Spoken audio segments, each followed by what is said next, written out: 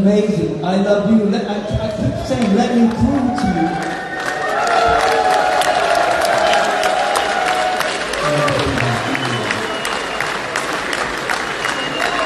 One more time. Tell me how you feel.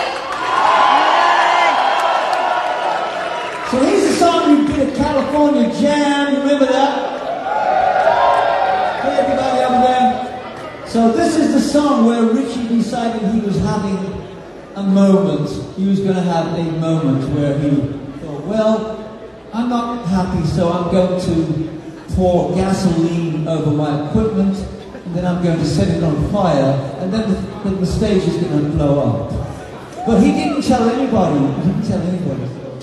You can see the look on our faces when that happened. So I can't blow this particular stage up because I want to come back and see you again.